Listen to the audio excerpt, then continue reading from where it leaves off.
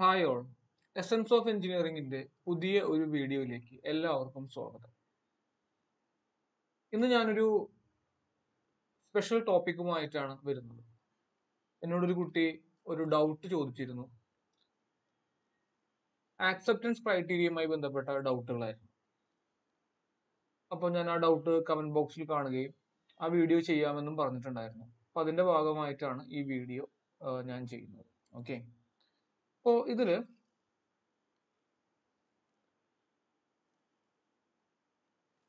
നമ്മൾ ആദ്യം പഠിക്കാൻ പോകുന്ന ഭാഗം എന്ന് പറയുന്നത് സാമ്പിളിംഗ് ഫ്രീക്വൻസി ആണ്. Okay? Sampling frequency.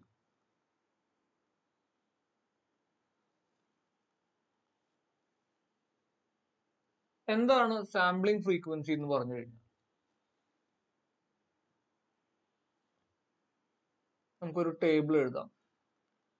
Quantity of the concrete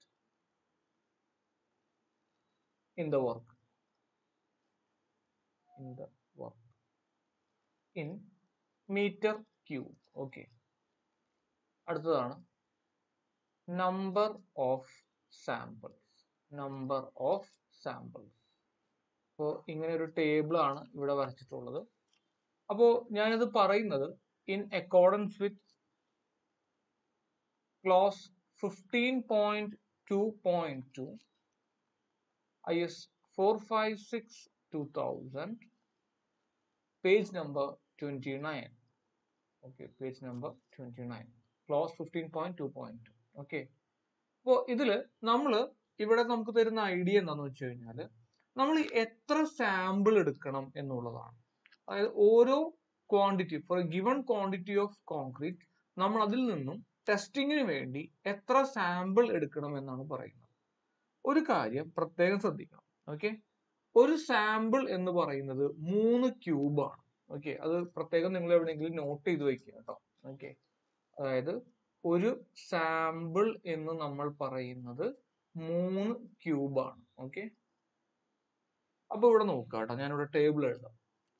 നമ്മുടെ കോൺക്രീറ്റ് നമ്മളിപ്പോൾ ചെയ്യാൻ പോകുന്ന കോൺക്രീറ്റിങ്ങിന്റെ അതിൽ ആവശ്യമായിട്ടുള്ള റിക്വയർഡ് ആയിട്ടുള്ള കോൺക്രീറ്റിന്റെ എമൗണ്ട് അല്ലെങ്കിൽ അതിന്റെ വോളിയം എന്ന് പറയുന്നത് ഒരു മീറ്റർ ക്യൂബ് മുതൽ അഞ്ച് മീറ്റർ ക്യൂബ് വരെയാണെന്ന് വിചാരിക്കുക ഒരു മീറ്റർ ക്യൂബ് മുതൽ അഞ്ച് മീറ്റർ ക്യൂബ് ആണെങ്കിൽ നമ്മൾ അവിടെ ഒരു സാമ്പിൾ അഥവാ മൂന്ന് ക്യൂബ് എടുത്തിരിക്കണം. ഇനി ആറ് മുതൽ പതിനഞ്ച് മീറ്റർ ക്യൂബ് കോൺക്രീറ്റ് ആണെന്നുണ്ടെങ്കിൽ അവിടെ നമ്മൾ രണ്ട് സാമ്പിൾ അഥവാ ആറ് ക്യൂബ് എടുത്തിരിക്കണം. പതിനാറ് മുതൽ മുപ്പത് മീറ്റർ ക്യൂബ് ആണ് കോൺക്രീറ്റിങ്ങിന്റെ വാല്യൂ ഐ മീൻ കോൺക്രീറ്റിങ്ങിന്റെ വോളിയം എങ്കിൽ പതിനാറ് മുതൽ മുപ്പതാണെന്നുണ്ടെങ്കിൽ അവിടെ മൂന്ന് സാമ്പിൾ അഥവാ മൂന്ന് ഇന്റു മൂന്ന് ഒൻപത് ക്യൂബ് എടുത്തിരിക്കണം. മുപ്പത്തി ഒന്ന് മുതൽ അൻപത് മീറ്റർ ക്യൂബ് ആണെന്നുണ്ടെങ്കിൽ നമ്മൾ നാല് സാമ്പിൾ ആണ് എടുക്കേണ്ടത്. അഥവാ പന്ത്രണ്ട് cube greater than fifty one greater than fifty one metre cube ആണെന്നുണ്ടെങ്കിൽ നമ്മൾ എഴുതി വയ്ക്കുക four plus one additional sample four plus one additional sample for each fifty metre cube or part of it or part of it എന്നാണ് പറഞ്ഞിട്ടുള്ളത്. Okay അപ്പോൾ ഇതെന്താണ് ഈ അവസാനത്തെ സ്റ്റേറ്റ്മെന്റ് എന്നുള്ളത് നമുക്കൊരു ക്വസ്റ്റ്യൻ ചെയ്തുകൊണ്ട് നമുക്ക് പഠിക്കാം. അതാണ് അതിന്റെ ഏറ്റവും എളുപ്പമുള്ള ഭാഗം. ഓക്കെ അപ്പോ നമ്മൾ ഈ ടേബിൾ കൃത്യമായിട്ട് പഠിച്ചു വെക്കണം. S S C J E പോലുള്ള എക്സാമുകളിൽ സ്ഥിരമായിട്ട് ഇങ്ങനെ ക്വസ്റ്റ്യൻസ് കാണാറുണ്ട്. അപ്പോൾ ഒരുപക്ഷെ നമ്മുടെ പി എസ് സി എക്സാമുകളിലും ഇത് കണ്ടു എന്ന് വരാം. ഓക്കെ അപ്പോൾ എന്താണ് നമുക്ക് ഇതൊന്ന് വ്യക്തമാക്കുവാൻ വേണ്ടി? ഈ ലാസ്റ്റ് സെന്റൻസ് എന്താണെന്ന് വ്യക്തമാക്കുവാൻ വേണ്ടി നമുക്കൊരു പ്രോബ്ലം ചെയ്യാം. ഓക്കെ ഇവിടെ നോക്കുക കേട്ടോ. ഫോർ എക്സാമ്പിൾ ഫസ്റ്റ് ക്വസ്റ്റ്യനിൽ if volume is equal to നൂറ്റി അഞ്ച് metre cube okay number of cubes എത്ര എന്നുള്ളതാണ് ചോദ്യം ഓക്കെ നമ്പർ ഓഫ് ക്യൂബ്സ് എത്ര എന്നുള്ളതാണ് ചോദ്യം. അപ്പൊ നമുക്ക് നോക്കാം കേട്ടോ നമ്മളോട് പറഞ്ഞിട്ടുള്ളത് എന്താണ്? നൂറ്റി അഞ്ചിനെ നമുക്ക് എന്ത് എഴുതാം? അമ്പത് പ്ലസ് അൻപത് പ്ലസ് അഞ്ച് എന്ന് എഴുതാം. ശരിയല്ലേ? അത് അമ്പതിന്റെ ഏഹ് രണ്ട് ഡിവിഷൻസും ഉണ്ട്. അഞ്ചിന്റെ ഒരു എക്സ്ട്രാ ഡിവിഷനും കൂടെ വന്നിട്ടുണ്ട്. ഇത്രയും മീറ്റർ ക്യൂബാണ് ഓക്കെ നൂറ്റിയഞ്ച് മീറ്റർ ക്യൂബിനെയാണ് നമ്മൾ ഇങ്ങനെ എഴുതിയിട്ടുള്ളത് അല്ലെ? അപ്പോ അതായത് ഈ ആദ്യത്തെ അമ്പത് മീറ്റർ ക്യൂബിന് നമുക്ക് എന്ത് ചെയ്യാം? നാല് സാമ്പിൾ എടുക്കാം. അങ്ങനെയാണ് നമ്മുടെ ടേബിൾ പറഞ്ഞിട്ടുള്ളത് അല്ലെ? മുപ്പത്തൊന്ന് മുതൽ അമ്പത് വരെ എത്രയാണ്? നാല് സാമ്പിൾ എടുക്കാം. ഓക്കെ ഇനി അഡീഷണൽ ആയിട്ട് വരുന്ന ഓരോ അമ്പത് മീറ്റർ ക്യൂബിനും ഓരോ സാമ്പിൾ എടുക്കുകയും മാത്രമല്ല അതിന്റെ ഒരു part okay it could be any part ഏത് പാർട്ട് ആയാലും ശരി അതിന് അഡീഷണൽ ഒരെണ്ണം കൂടി എടുക്കുകയാണ് ചെയ്യുക. ഓക്കെ അതായത് നമുക്ക് എപ്പോഴും അമ്പതിന്റെ മൾട്ടിപ്പിൾസ് കിട്ടണം എന്നില്ല ഓക്കെ ചിലപ്പോ ഇതിപ്പോ അഞ്ചായി ഇപ്പൊ നൂറ്റിപ്പത്ത് മീറ്റർ ക്യൂബ് ആയിരുന്നെങ്കിൽ അവിടെ എന്ത് വന്നേനെ? അഞ്ചിന് പകരം പത്ത് വന്നേനെ. അത്രേ ഉള്ളൂ. ബട്ട് എനി കോസ്റ്റ് ഓരോ അമ്പത് മീറ്റർ ക്യൂബിനും നമ്മൾ എന്ത് ചെയ്യുക? ആദ്യത്തെ അമ്പത് മീറ്റർ ക്യൂബിന് നാലെണ്ണം എടുക്കുന്നു. പിന്നെ വരുന്ന ഓരോ അഡീഷണൽ അമ്പത് മീറ്റർ ക്യൂബിന് നമ്മൾ ഓരോ സാമ്പിൾ വീതം എടുക്കുന്നു നമുക്ക് റൗണ്ട് ചെയ്ത് പോയില്ല. അമ്പതിന്റെ മൾട്ടിപ്പിൾസ് അല്ല എങ്കിലും കുഴപ്പമില്ല. അവസാനത്തെ ഭാഗത്തിന് നമ്മൾ എന്ത് ചെയ്യുക? ഒരു അഡീഷണൽ സാമ്പിൾ കൂടി കണക്കാക്കുക. അപ്പൊ അതിന്റെ അർത്ഥം എന്താ? നമുക്ക് ഇവിടെ നാല് പ്ലസ് ഒന്ന് പ്ലസ് ഒന്ന് ഈക്വൽ ടു ആറ് സാമ്പിൾ ആണ് നമ്മൾ എടുക്കേണ്ടത്. ഓക്കെ ആറ് സാമ്പിൾ എന്ന് പറഞ്ഞു കഴിഞ്ഞാൽ നമുക്ക് പറയാം ആറ് ഇന്റു മൂന്ന് ഈക്വൽ ടു പതിനെട്ട് ക്യൂബ് ആണ് നമ്മൾ എടുക്കേണ്ടത് കേട്ടോ. ഓക്കെ പതിനെട്ട് ക്യൂബ് ആണ് നമ്മുടെ ആൻസർ ഇനി നമുക്ക് ഇനി ഒരു ക്വസ്റ്റ്യൻ കൂടി ചെയ്തു നോക്കാം. ഓക്കെ രണ്ടാമത്തെ ക്വസ്റ്റ്യനിൽ വോളിയം നമുക്ക് തന്നിരിക്കുന്നത് ഇരുന്നൂറ്റി പതിനെട്ട് മീറ്റർ ക്യൂബ് എന്നാണ് തന്നിരിക്കുന്നത്. ഓക്കെ അപ്പൊ ഇത് എന്താ ചെയ്യാൻ പറ്റുക? നമുക്ക് നോക്കാം അല്ലെ? നമുക്ക് ഇരുന്നൂറ്റി പതിനെട്ടിനെ എന്താക്കി എഴുതാം? ആദ്യം ഒരു അൻപത് ഉണ്ട് അല്ലെ? പ്ലസ് പിന്നെ നമുക്കൊരു മൂന്ന് അമ്പത് വരുന്നുണ്ട്. കാരണം ബാക്കി ഇരുന്നൂറ് എത്തിക്കണ്ടേ നമുക്ക്? അപ്പൊ നമുക്ക് മൂന്ന് അമ്പത് വരുന്നുണ്ട്. അപ്പൊ ഞാൻ തൽക്കാലം അമ്പത് പ്ലസ് അമ്പത് പ്ലസ് അമ്പത് എന്ന് എഴുതുകയാണ്. പ്ലസ് നമുക്ക് എന്ത് വരുന്നുണ്ട്? ഒരു പതിനെട്ട് മീറ്റർ ക്യൂബിന്റെ കഷ്ണം കൂടി അവിടെ ബാക്കി വരുന്നുണ്ട് അല്ലെ? അപ്പൊ ഇത് എങ്ങനെ ചെയ്യാം നമ്മൾ? ആദ്യത്തെ അൻപതിന് നാല് സാമ്പിൾ കണക്കാക്കുക. പിന്നെ ഓരോന്നിനും നമ്മൾ എന്ത് ചെയ്യുക? ഓരോ ഒന്ന് വീതം നമ്മൾ കണക്കാക്കുക. അവസാനത്തെ ഒരു പാർട്ടിന് നമ്മൾ എന്ത് ചെയ്യുക? ഒരു ഒന്ന് വീതം നമ്മൾ കണക്കാക്കുക. ഓക്കെ അപ്പൊ എല്ലാം കൂടി ആഡ് നമുക്ക് എത്ര കിട്ടി? രണ്ട് നാല് എട്ട്. ഓക്കെ നമുക്കപ്പോ എട്ട് സാമ്പിൾ എന്ന് നമുക്ക് കിട്ടി. ഓക്കെ അപ്പോ എട്ട് സാമ്പിൾ എന്ന് പറഞ്ഞു കഴിഞ്ഞാൽ അത് എത്രയാണ്?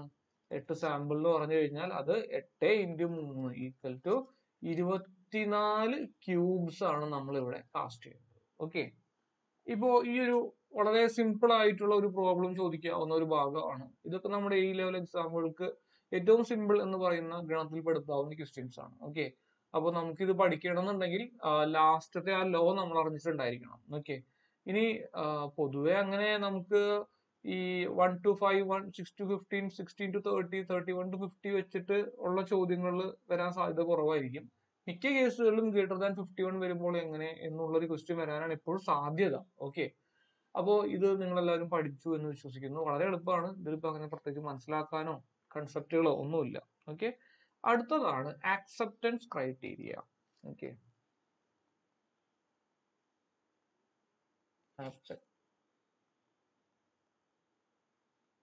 അപ്പോ ആക്സെപ്റ്റൻസ് ക്രൈറ്റീരിയ എന്ന് പറഞ്ഞു കഴിഞ്ഞാൽ നമ്മുടെ ഗിവൺ ആയിട്ടുള്ള നമ്മുടെ സാമ്പിൾ ഓക്കെ നമ്മുടെ സാമ്പിൾ അല്ലെങ്കിൽ കോൺക്രീറ്റ് അതിനെ ആക്സെപ്റ്റ് ചെയ്യണോ വേണ്ടയോ എന്ന് തീരുമാനിക്കുന്ന കാര്യങ്ങളാണ്. ഓക്കെ അപ്പോൾ അതിനു വേണ്ടി ഓക്കെ അപ്പോൾ ഈ ഭാഗത്തുനിന്നായിരുന്നു സംശയം വന്നത്. അപ്പോൾ ഇവിടെ നോക്കുക കേട്ടോ. അതിനു വേണ്ടി കുറച്ച് ക്ലോസ് പറഞ്ഞിട്ടുണ്ട്. ഓക്കെ അപ്പോൾ നമുക്ക് ആദ്യം നോക്കാം. ഈ ക്ലോസ് പ്രധാനമായിട്ടും page number twenty nine page number thirty എന്നീ പേജുകളിലാണ് ഐ എസ് ഫോർ ഫൈവ് സിക്സിലുള്ളത് കേട്ടോ. കുറച്ചധികം ക്ലോസ് ഉണ്ട്. അപ്പോൾ ഞാൻ നോക്കുകയാണ്. ആദ്യത്തെ ക്ലോസ് ആണ് sixteen point one A sixteen point one A നമുക്ക് നോക്കാം. ഓക്കെ അപ്പോൾ അതിൽ ഫസ്റ്റ് പറയുന്ന കാര്യമാണ്. ദ ആവറേജ് ആവറേജ് അല്ലെങ്കിൽ മീൻ സ്ട്രെങ്ത് രണ്ടും ഒന്ന് തന്നെ കേട്ടോ ആവറേജ് സ്ട്രെങ്ത് എന്ന് പറയുന്നതും മീൻ സ്ട്രെങ്ത് എന്ന് പറയുന്നതൊക്കെ ഒന്ന് തന്നെ the average strength average strength of a non-overlapping of a non-overlapping test shall not be test shall not less than less than less than. Okay അതായത് നമ്മുടെ F average shall not be less than എന്ന് പറയുന്നതും should be greater than എന്ന് പറയുന്നതും ഒന്ന് തന്നെ. Should be greater equal to കണ്ടീഷനോട് പറയുന്നുണ്ട്. F C K plus zero point eight twenty five sigma okay F C K plus zero point eight twenty five sigma or or F C K plus three ഇത് four M fifteen concrete ആണ്. F C K plus four ഇത് വരുന്നത് four M twenty concrete ആണ് വരുന്നത്. Okay ഇതിൽ നമുക്ക് എഴുതാം. Whichever is higher okay whichever is higher whichever is higher okay അപ്പോൾ ഈ ഒരു സ്റ്റേറ്റ്മെന്റ് ഇങ്ങനെ കാണുമ്പോൾ പെട്ടെന്ന് നമുക്ക് ക്ലിക്ക് ആവില്ല. ഇത് എന്താണ് സംഭവം എന്ന് ക്ലിക്ക് ആവാൻ സാധ്യത കുറവാണ്. നമുക്ക് ന്യൂമറിക്കൽ ചെയ്തുകൊണ്ട് നമുക്ക് പഠിക്കാം. ഓക്കെ നമുക്കത് അടുത്ത സ്റ്റേറ്റ്മെന്റ് എഴുതാം കേട്ടോ. Sixteen point one B sixteen point one B individual individual test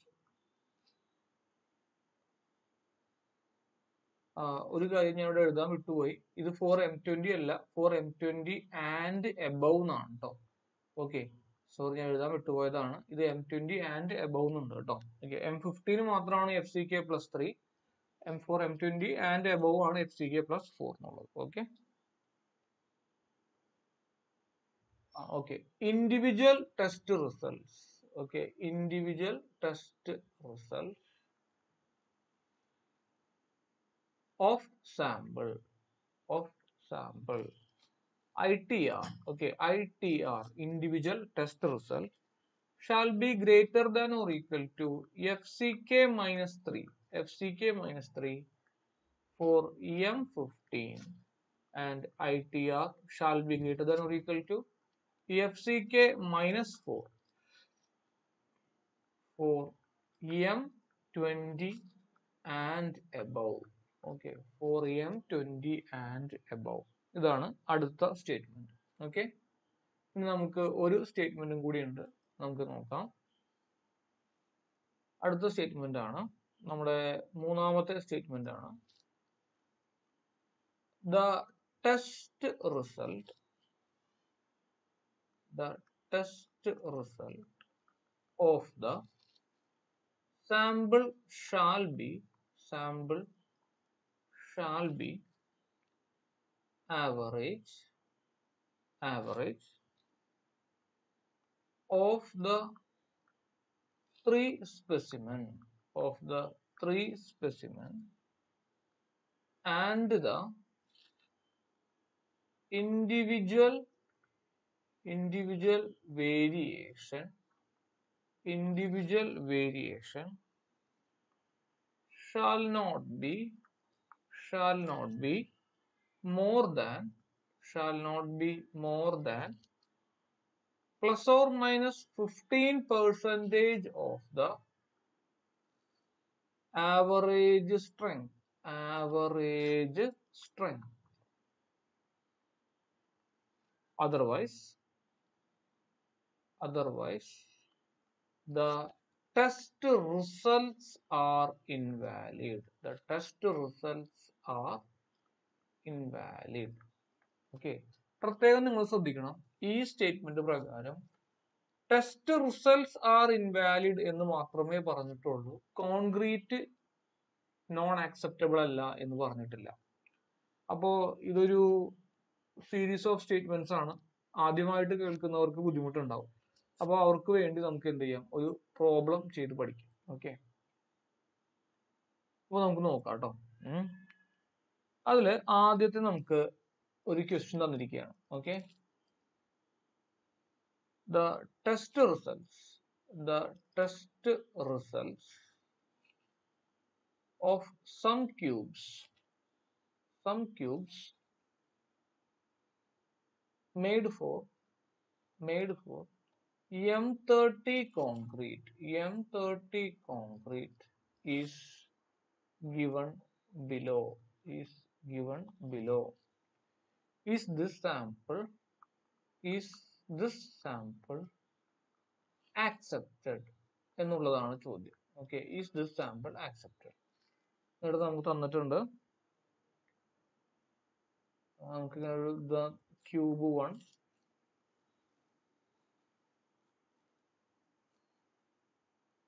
cube two cube three cube four okay എന്നിങ്ങനെ നാല് ക്യൂബ് അവിടെ വന്നിട്ടുണ്ട്. ഓക്കെ നാല് ക്യൂബിന്റെ റിസൾട്ട് ആണ് തന്നിട്ടുള്ളത് കേട്ടോ. നോക്കട്ടെ. Thirty one newton per M M square thirty two point four newton per M M square thirty three newton per M M square and it is thirty newton per M M square എന്നിങ്ങനെ നാല് റിസൾട്ടും തന്നിട്ടുണ്ട്. ഈ sample accepted ആണോ അല്ലയോ എന്നാണ് നമ്മൾ check ചെയ്യേണ്ടത്. ഓക്കെ അപ്പൊ നമുക്ക് നോക്കാം ഇത് എങ്ങനെ ചെയ്യാന്നുള്ളത്. ഓക്കെ ഇവിടെ നമുക്ക് നോക്കാം കേട്ടോ നമ്മുടെ ആൻസർ ആണ്. ഓക്കെ ആദ്യം നമുക്ക് നോക്കാം. ഇതിന്റെ ആവറേജ് സ്ട്രെങ്ത് എന്താണെന്ന് നോക്കാം. Okay F average is equal to എന്താ ചെയ്യണ്ടേ thirty one plus thirty two point four plus thirty three plus മുപ്പത് ഓൾ ഡിവൈഡഡ് ബൈ നാല്. അപ്പൊ നമുക്ക് ഇതിന്റെ ആൻസർ കിട്ടും. മുപ്പത്തൊന്ന് പോയിന്റ് ആറ് newton per M M square നമുക്ക് ആൻസർ കിട്ടി. ഇതാണ് നമ്മുടെ ആവറേജ് സ്ട്രെങ്ത് കേട്ടോ ഓക്കെ അപ്പോ നമ്മളോട് എന്താണ് കണ്ടീഷൻ പറഞ്ഞിട്ടുള്ളത്? അതായത് F average should be greater than or equal to എന്ന് പറഞ്ഞിട്ടുണ്ട്. എന്തൊക്കെയാ പറഞ്ഞിട്ടുള്ളത് രണ്ട് conditions F C K plus zero point eight twenty five sigma അതാണ് ഫസ്റ്റ് കണ്ടീഷൻ രണ്ടാമത്തെ കണ്ടീഷൻ എന്താ? ഇ എഫ് സി കെ പ്ലസ് നാല്. കാരണം എന്താ? ഇത് എം തേർട്ടി കോൺക്രീറ്റ് ആണ് അല്ലെ? എം ഫിഫ്റ്റീൻ ആണെങ്കിലാണ് നമ്മൾ എന്തെടുക്കേണ്ടത് എഫ് സി കെ പ്ലസ് മൂന്ന് എന്നെടുക്കേണ്ടത് okay F C K plus നാല് എന്നുള്ളത് എന്താണ്? എം ട്വന്റിയോ അതിൽ കൂടുതലോ ഉള്ള എല്ലാ കോൺക്രീറ്റുകൾക്കും നമുക്ക് F C K plus four എന്നുള്ള കണ്ടീഷനാണ് നമ്മൾ എടുക്കേണ്ടത്. ഓക്കെ അപ്പോ നമുക്ക് ഇവിടെ എങ്ങനെ എഴുതാം? Whichever is maximum okay whichever is maximum എന്നാണ് പറഞ്ഞിട്ടുള്ളത്. ഓക്കെ അപ്പൊ നമുക്ക് ആദ്യം കണ്ടുപിടിക്കാം. F C K plus F C K plus point eight twenty five സിഗ്മയുടെ value എത്രയെന്ന് നമുക്ക് കണ്ടുപിടിക്കാം. അപ്പൊ എത്രയാണ് വരുന്നത് എഫ് സി കെ എന്നുള്ളത് നമുക്ക് മുപ്പതാണ്. മുപ്പത് plus point eight twenty five into സിഗ്മയുടെ value നമ്മൾ ടേബിളിൽ പഠിച്ചിട്ടുണ്ടായിരുന്നു. എം തേർട്ടി കോൺക്രീറ്റ് ആകുമ്പോൾ അഞ്ചാണ് വാല്യൂ വരിക അല്ലെ? നമുക്കിത് ഗുഡ് ക്വാളിറ്റി കൺട്രോൾ ആണെന്ന് നമുക്ക് നേരിട്ട് അസ്യൂം ചെയ്യാം. കാരണം ഇവിടെ പുവർ ക്വാളിറ്റി കൺട്രോൾ എന്ന് പറഞ്ഞിട്ടില്ല. അപ്പൊ നമുക്ക് ഗുഡ് ക്വാളിറ്റി കൺട്രോൾ വിചാരിക്കുന്നതിൽ യാതൊരു തെറ്റുമില്ല ഇന്റു ഫൈവ് എന്ന് വന്നു. അപ്പോൾ ഇതിന്റെ ആൻസർ നമുക്ക് വരും. Thirty four point thirty four point one twenty five ആണ് നമുക്ക് വരുന്നത്. ഓക്കെ ഇനി രണ്ടാമത്തെ എന്താ പറഞ്ഞിട്ടുള്ളത്? F C K plus four അതിന്റെ വാല്യൂ എത്രയാ? മുപ്പത് പ്ലസ് നാല് വിച്ച് ഇസ് ഈക്വൽ ടു മുപ്പത്തിനാല്. അപ്പോൾ അപ്പോ ഇതിൽ ഞാൻ ഏതാ എടുക്കണ്ടേ? വിച്ചവർ ഇത് newton per M M square ആണ് കേട്ടോ രണ്ടും. Okay newton per M M square അതായത് നമ്മളോട് പറഞ്ഞിരിക്കുന്ന കണ്ടീഷൻ എന്താന്ന് നോക്കിയേ? ഈ രണ്ട് വാല്യൂസിൽ ഓക്കെ ഈ രണ്ട് വാല്യൂസിൽ വലുതേതാണോ വിച്ച് എവർ ഈസ് മാക്സിമം അപ്പൊ അതിന്റെ അർത്ഥം എന്താ? ഇതാണ് നമ്മുടെ വാല്യൂ എഫ് ആവറേജ് എന്ന് പറയുന്നത് ഈ രണ്ട് വാല്യൂസിൽ വലുതേതാണോ അതിലും കൂടുതലായിട്ട് നിന്നിട്ടുണ്ടാവണം എന്നാണ് പറഞ്ഞിട്ടുള്ളത് അല്ലെ? പക്ഷെ നമ്മുടെ എഫ് ആവറേജ് എത്രയേ ഉള്ളൂ? മുപ്പത്തിയൊന്ന് പോയിന്റ് ആറ് newton per M M square മാത്രമേ ഉള്ളൂ അല്ലെ? അപ്പോ ഫലത്തിൽ നോക്കുകയാണെങ്കിൽ ഈ സാമ്പിൾ എന്തായി? ഫസ്റ്റ് കണ്ടീഷനെ തന്നെ തെറ്റിച്ചു കഴിഞ്ഞിരിക്കുന്നു ഓക്കെ അപ്പോ ഈ സാമ്പിൾ ആക്ച്വലി എന്താണ്? റിജക്റ്റഡ് ആണ് കേട്ടോ. ഓക്കെ നമുക്ക് പറയാം. This sample is rejected okay നമുക്ക് പറയാം. This is is rejected okay this is rejected കണ്ടില്ലേ? നമുക്ക് പെട്ടെന്ന് ഒരു എം തേർട്ടി കോൺക്രീറ്റ് ആണ്. തേർട്ടി വൺ ഉണ്ട് തേർട്ടി ടു പോയിന്റ് ഫോർ ഉണ്ട് തേർട്ടി ത്രീ ഉണ്ട് തേർട്ടി ഉണ്ട്. പെട്ടെന്ന് നമുക്ക് കാണുമ്പോൾ എന്താ തോന്നുക? ആ നല്ലൊരു കോൺക്രീറ്റ് ആണെന്ന് തോന്നും പക്ഷെ ആസ് പെർ ടെസ്റ്റ് റിസൾട്ട്സ് അല്ലെങ്കിൽ as per our acceptance criteria ആദ്യത്തെ കണ്ടീഷൻ തന്നെ അത് വയലേറ്റ് ചെയ്തു. അതുകൊണ്ട് ഈ സാമ്പിൾ എന്തായിട്ട് മാറി? റിജക്റ്റഡ് ആയിട്ട് മാറി. Okay F average is greater than or equal to should be greater than or equal to എന്തൊക്കെയാണ്? F C K plus zero point eight twenty five sigma അതുപോലെ തന്നെ F C K plus four ഈ രണ്ട് വാല്യൂസിനേക്കാളും അതിൽ വലുത് ഏതാണോ അതിനേക്കാളും കൂടി നിൽക്കണം നമ്മുടെ എഫ് ആവറേജിന്റെ വാല്യൂ ഓക്കെ നമുക്കിനി ഒരു പ്രോബ്ലം കൂടി നമുക്ക് ചെയ്തു നോക്കാം ഓക്കെ ഇങ്ങനെയാണ് അടുത്ത question again for M thirty concrete for M thirty concrete the test results the test results are given below are given below okay is the sample accepted is the sample accepted. Okay? ഇപ്പൊ ഇത് accepted ആണോ rejected ആണോ എന്നുള്ളതാണ് ചോദ്യം. Okay അപ്പോൾ ഇവിടെ നോക്കുമ്പോൾ നമുക്കൊരു ടേബിൾ വരയ്ക്കാം കേട്ടോ. ഫസ്റ്റ് ആണ് cube one okay cube one നമുക്ക് വന്നിട്ടുള്ളത് ട്വന്റി നയൻ പോയിന്റ് സിക്സ് ആണ്. ക്യൂബ് ടു നമുക്ക് തന്നിട്ടുള്ളത് തേർട്ടി ഫോർ പോയിന്റ് ടു ആണ്. ക്യൂബ് ത്രീ നമുക്ക് തന്നിട്ടുള്ളത് തേർട്ടി സിക്സ് പോയിന്റ് സെവൻ ആണ്. Thirty six point seven and cube four cube four നമുക്ക് തന്നിട്ടുള്ളത് തേർട്ടി നയൻ പോയിന്റ് വൺ ഇതെല്ലാം newton per M M square ആണ് കേട്ടോ newton per M M square newton per M M square newton per M M square newton per M M അപ്പോൾ ഈ ഒരു നമുക്ക് ഇനി ചെക്ക് ചെയ്യേണ്ടത് ഇതിന്റെ ആക്സെപ്റ്റൻസ് എത്രത്തോളം ഉണ്ട് എന്നുള്ളതാണ്. ഓക്കെ അപ്പോൾ നമുക്ക് നോക്കാം.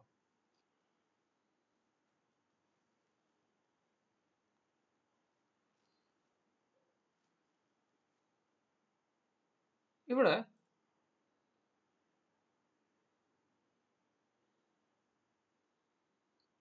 നമുക്ക് നോക്കാം ഫസ്റ്റ് നമ്മൾ കണ്ടുപിടിക്കേണ്ടത് എഫ് ആവറേജ് ആണ്. എഫ് ആവറേജ് എങ്ങനെ കണ്ടുപിടിക്കും? എല്ലാവരുടെയും ആവറേജ് നമ്മൾ എടുക്കുക അല്ലെ? നമുക്ക് നോക്കാം. Twenty nine point six thirty four point two thirty six point seven and thirty nine point one plus okay all divided by നാല്. അപ്പൊ നമുക്ക് എങ്ങനെ കിട്ടി നോക്കട്ടെ? നമുക്ക് വാല്യൂ കിട്ടി thirty four point nine newton per M M square കിട്ടി. ഇതാണ് നമ്മുടെ ആവറേജ് സ്ട്രെങ്ത് എന്ന് പറയുന്നത്. ഓക്കെ അപ്പോൾ നമ്മുടെ കണ്ടീഷൻ എന്തായിരുന്നു? F average should be greater than or equal to ആദ്യത്തെ എന്തായിരുന്നു?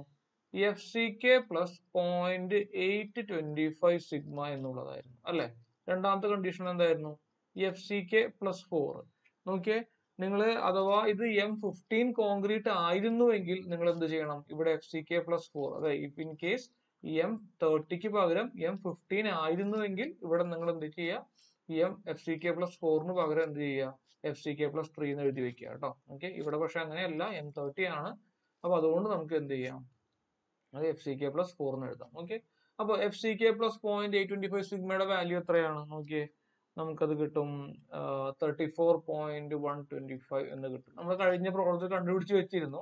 ഇവിടെ നമുക്ക് തേർട്ടി ഫോറിന് കിട്ടും. ഓക്കെ ഓൾറെഡി നമുക്കിപ്പോ ഇത് കാണുമ്പോൾ തന്നെ മനസ്സിലാവും എന്താ? നമ്മുടെ എഫ് ആവറേജ് നമ്മുടെ F ആവറേജിന്റെ value thirty four point nine ഉണ്ട്. അല്ലെ? അപ്പൊ നമുക്ക് എന്ത് പറയാം? ക്രൈറ്റീ ക്രൈറ്റീരിയ വൺ നമുക്ക് പാസ്സായി എന്ന് പറയാം. ഓക്കെ ക്രൈറ്റീരിയ വൺ നമുക്ക് പാസ്സായി എന്ന് പറയാം. ഓക്കെ ഫസ്റ്റ് ക്ലോസ് നമുക്ക് പാസ്സായി അപ്പൊ നമുക്ക് നേരെ എന്ത് ചെയ്യാം? സെക്കൻഡ് ക്ലോസിലേക്ക് പോവാം കേട്ടോ. ഓക്കെ സെക്കൻഡ് ക്ലോസിൽ എന്താണ് പറയുന്നത്? സെക്കൻഡ് ക്ലോസ് നമുക്ക് നോക്കാം.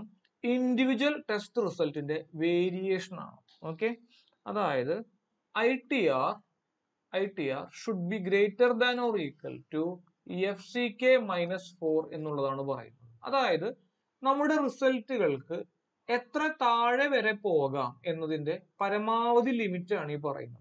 അതായത് നമ്മൾ പറഞ്ഞിട്ടുണ്ടായിരുന്നു കഴിഞ്ഞ വീഡിയോയിൽ പറഞ്ഞിട്ടുണ്ടായിരുന്നു അല്ലെ? നമ്മളൊരു ക്യൂബ് ഒരു കോൺക്രീറ്റ് കാസ്റ്റ് ചെയ്ത് കഴിഞ്ഞു കഴിഞ്ഞാൽ അതിൽ നിന്ന് എടുക്കുന്ന എല്ലാ ക്യൂബുകൾക്കും ഒരേ റിസൾട്ട് വരണമെന്ന് യാതൊരു നിർബന്ധവും ഇല്ല എന്ന് പറഞ്ഞിട്ടുണ്ടായിരുന്നു. ചിലത് ഇപ്പൊ എം തേർട്ടി ആണെങ്കിലും കുറച്ച് താഴെ പോവാൻ സാധ്യതയുണ്ടെന്ന് പറഞ്ഞിട്ടുണ്ടായിരുന്നു അല്ലേ? അങ്ങനെയാണെങ്കിൽ എത്ര വരെ താഴെ പോവാം എത്ര വരെ താഴെ പോവാം എന്നുള്ളതിന്റെ ഒരു പരമാവധി വേരിയേഷൻ ആണ് ഇവിടെ പറയുന്നത് കേട്ടോ.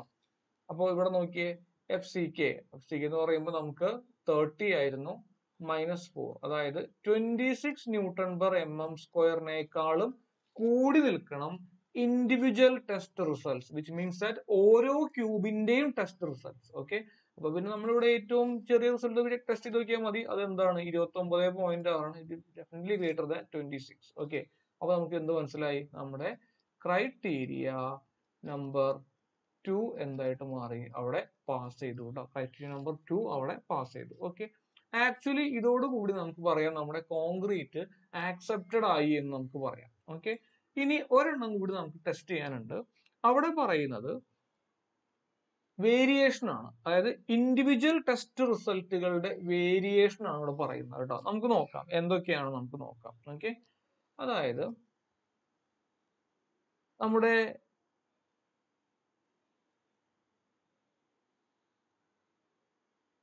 ഇൻഡിവിജ്വൽ ടെസ്റ്റ് റിസൾട്ട്സിന്റെ വേരിയേഷൻ പരമാവധി plus or minus fifteen percentage of F average അതിൽ കൂടാൻ പാടില്ല എന്നാണ് പറയുന്നത്. എന്താണ് നമുക്ക് നോക്കാം. നമ്മുടെ ഫസ്റ്റ് സാമ്പിൾ നമ്മൾ എടുത്തു എന്ന് വിചാരിക്കുക. ഓക്കെ നമ്മുടെ ഫസ്റ്റ് സാമ്പിൾ നമ്മൾ എടുക്കുക. ഫസ്റ്റ് ക്യൂബ് നമ്മൾ എടുക്കാറുണ്ടാവും ഓക്കെ അപ്പോൾ ഫസ്റ്റ് ക്യൂബ് എന്താണ്? അതിന് ട്വന്റി നയൻ പോയിന്റ് സിക്സ് ആണ് അതിന്റെ റിസൾട്ട് അല്ലേ? അപ്പോൾ twenty nine point six minus thirty four point nine ഇതാണ് വേരിയേഷൻ അത് എന്തിന്റെ നമ്മുടെ ആവറേജ് ഈ തേർട്ടി ഫോർ പോയിന്റ് നയൻ എന്നുള്ളത് എന്താണ് ആക്ച്വലി അത് നമ്മുടെ എഫ് ആവറേജ് ആണ്. അതായത് ആവറേജിൽ നിന്നും എത്ര വേരിയേഷൻ ശതമാനത്തിലാണ് നമ്മൾ കണ്ടുപിടിക്കുന്നത്. അതുകൊണ്ടാണ് ഞാൻ എന്ത് ചെയ്തത്? തേർട്ടി ഫോർ പോയിന്റ് നയൻ കൊണ്ട് ഡിവൈഡ് ചെയ്തിട്ട് ഇന്റു ഹൺഡ്രഡ് ചെയ്തത്. അപ്പൊ നമുക്ക് എന്ത് കിട്ടി? പെർസെന്റേജ് കിട്ടും. ഓക്കെ അപ്പോൾ ഫസ്റ്റ് ക്യൂബിന്റെ വേരിയേഷൻ നമ്മുടെ ആവറേജിൽ നിന്നും എത്രയുണ്ട് എന്നാണ് നമ്മൾ നോക്കുന്നത്. അപ്പൊ നമുക്കിത് കിട്ടി. ചെയ്തു നോക്കുമ്പോൾ കിട്ടും. നെഗറ്റീവ് പതിനഞ്ച് പോയിന്റ് പതിനെട്ട് ശതമാനമാണ് വേരിയേഷൻ കാണിക്കുന്നത്. ഓക്കെ ഇപ്പൊ തന്നെ ഇത് ഫെയിലായി ഓക്കെ ഇപ്പൊ തന്നെ നമുക്ക് ഇത് ഫെയിലായി എന്ന് കാണാൻ പറ്റും. കാരണം എന്താ? കാരണം പ്ലസ് ഓർ മൈനസ് പതിനഞ്ച് ശതമാനത്തിൽ കൂടുതൽ വേരിയേഷൻ കാണിക്കാൻ പാടില്ല. ഇവിടുത്തെ ഫിഫ്റ്റീൻ പോയിന്റ് വൺ എയ്റ്റ് ഉണ്ട്. അപ്പൊ ഇത് ഇതെന്തായി? ഇവിടെ ഫെയിലായി ഓക്കെ ഇങ്ങനെ നമ്മൾ എന്ത് ചെയ്യണം? ഓരോ ക്യൂബിന്റെയും ആക്ച്വലി നമ്മൾ കണ്ടുപിടിക്കണം. പക്ഷെ എക്സാമിന് നമുക്ക് എല്ലാ ക്യൂബുകളുടെയും കണ്ടുപിടിക്കേണ്ട. ഓക്കെ നമ്മൾ തന്നിട്ടുള്ള റിസൾട്ടുകളിൽ ഏറ്റവും മിനിമം വാല്യൂ ഉള്ള ക്യൂബിന്റെയും മാക്സിമം വാല്യൂ ഉള്ള ക്യൂബിന്റെയും വേരിയേഷൻ മാത്രം കണ്ടുപിടിച്ചാൽ മതി. ശരിയല്ലേ? ബാക്കിയുള്ള എല്ലാത്തിന്റെയും വേരിയേഷൻ എന്തായിരിക്കും? മിനിമത്തിനേക്കാളും കൂടുതലും മാക്സിമത്തിനേക്കാളും കുറവായിരിക്കും. പിന്നെ നമ്മൾ എല്ലാം കൂടി കണ്ടുപിടിച്ച സമയം കളയേണ്ട കാര്യമില്ല? ഓക്കെ അപ്പൊ ഫസ്റ്റ് ക്യൂബിന്റെ തന്നെ ഞാൻ സെലക്ട് ചെയ്തപ്പോൾ ട്വന്റി നയൻ പോയിന്റ് സിക്സ് എന്നുള്ളത് എന്തായിരുന്നു? ഏറ്റവും ലോവസ്റ്റ് വാല്യൂ ആയിരുന്നു. അവിടെ അത് ഫെയിൽ ആവുകയും ചെയ്തു. എന്നാലും നമുക്കൊരു പ്രോബ്ലം ചെയ്യുന്നതിന്റെ ഒരു ഭംഗിക്ക് വേണ്ടി നമുക്ക് എന്ത് ചെയ്യാം? ബാക്കിയുള്ളതും കൂടി ടെസ്റ്റ് ചെയ്ത് നോക്കാം. ഓക്കെ അപ്പൊ നമ്മുടെ maximum variation okay maximum variation അതായത് ഇത് ഇത് ആക്ച്വലി നമ്മുടെ എന്താണ്? നമ്മുടെ മിനിമം വേരിയേഷൻ ആണ് അല്ലെ? അതായത് ഏറ്റവും ലോവസ്റ്റ് വേരിയേഷൻ ആണ് കാണിക്കുന്നത്. മാക്സിമം വേരിയേഷൻ എന്ന് പറഞ്ഞു കഴിഞ്ഞാൽ നമുക്ക് ഇവിടെ നോക്കുമ്പോൾ എന്താ കാണുന്നത്? Highest value thirty nine point one ആണ് അല്ലെ? Thirty nine point one minus thirty four point nine all divided by thirty four point nine into hundred percentage hundred percentage അപ്പൊ എത്ര വന്നു നോക്കട്ടെ അത്? അത് പ്ലസ് പന്ത്രണ്ട് പോയിന്റ് മൂന്ന് ശതമാനമാണ്. അപ്പൊ ആക്ച്വലി ഇവിടെ ഇത് എന്താണ് ഇത് പാസ്സാണ് ഓക്കെ അപ്പോ പോസിറ്റീവ് സൈഡിലേക്ക് നോക്കുമ്പോൾ അതിന്റെ വേരിയേഷൻ പാസ്ഡ് ആണെങ്കിലും നെഗറ്റീവ് സൈഡിലേക്ക് നോക്കിയപ്പോൾ എന്തായി? അതിന്റെ വേരിയേഷൻ ഫെയിൽ ആയി. ഓക്കെ അപ്പോൾ ഇത് ഫെയിൽ ആയി എന്നതിന്റെ അർത്ഥം ഇവിടുത്തെ ക്യൂബുകൾക്ക് എന്തോ ഡിഫക്റ്റ് ഉണ്ട് എന്നുള്ളതാണ്. നമ്മൾ വേറെ സാമ്പിളിലേക്ക് പോകണം ഓക്കെ അല്ലാതെ നമ്മൾ ഇതിലേക്ക് പോകാൻ പാടില്ല. കോൺക്രീറ്റ് പൊട്ടയാണ് എന്നുള്ള ഒരു കൺക്ലൂഷനിലേക്ക് പോകാൻ പാടില്ല. ഇവിടുത്തെ ഈ വേരിയേഷൻ ടെസ്റ്റ് എന്ന് വെച്ചാൽ നമ്മൾ എന്താ മനസ്സിലാക്കേണ്ടത്? ക്യൂബുകൾക്ക് എന്തോ ഡിഫക്റ്റ് ഉണ്ട്. ഓക്കെ അപ്പൊ നിങ്ങൾ എഴുതുക. This means that this means that the cubes are defective. Cubes are defective. Okay? We can write go for resampling. Go for resampling. ഇതാണ് നമ്മൾ ഇവിടെ ചെയ്യേണ്ട കാര്യം. ഓക്കെ നമ്മൾ മറ്റൊരു സാമ്പിൾ എടുത്തിട്ട് അതിന്റെ കൂടി റിസൾട്ട്സ് നമ്മളൊന്ന് പരിശോധിച്ച് നോക്കാം. ഓക്കെ എന്തെങ്കിലും ഒരു ക്യൂബുകൾക്ക് പ്രശ്നമുണ്ട് എന്ന് മാത്രമേ ഇവിടെ പറയുന്നുള്ളൂ. ഓക്കെ